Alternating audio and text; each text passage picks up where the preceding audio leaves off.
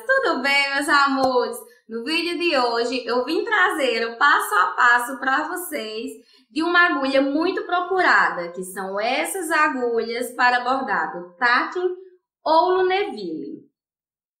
Ela é uma agulha originalmente industrial e tem sido adaptada para bordados em bastidores. Ela é encontrada assim e para conseguirmos bordar, precisamos adaptá-la em um cano. Eu utilizei tubos de caneta.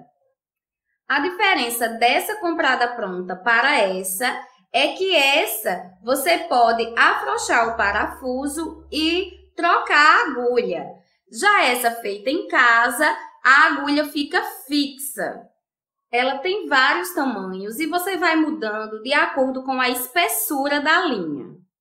Para a linha comum de costura, 90 é o melhor tamanho.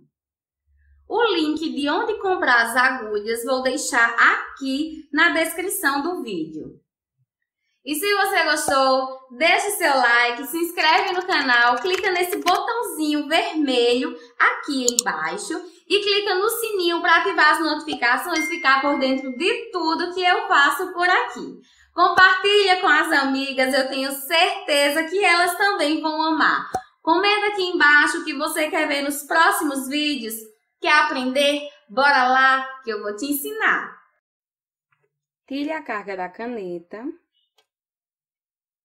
Vou precisar fazer um pequeno furo aqui na caneta. Vou pegar um alfinete, vou esquentar a ponta e vou furar a caneta no lugar que desejo.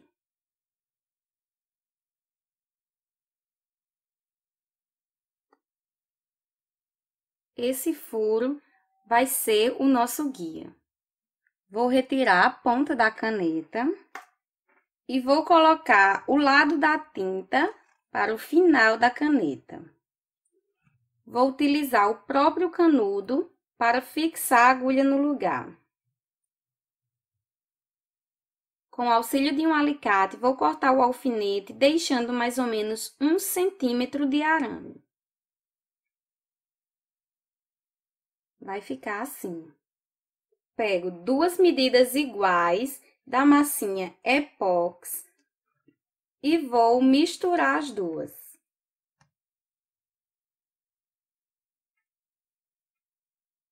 O alfinete que cortamos, vou colocar no furo que fizemos. Temos que alinhar o máximo a ponta da agulha com a cabecinha do alfinete, pois será essa pontinha que nos guiará no bordado. Separe uma pequena bolinha da massinha. Vou colocar a bolinha no furo. vou moldando na caneta e vou passar o alfinete de cima para baixo, encaixando no furo que fizemos.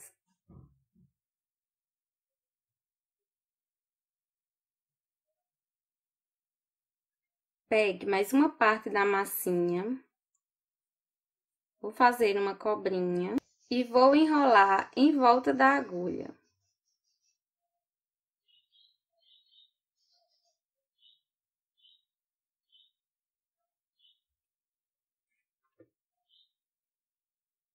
Agora eu venho modelando como eu quero.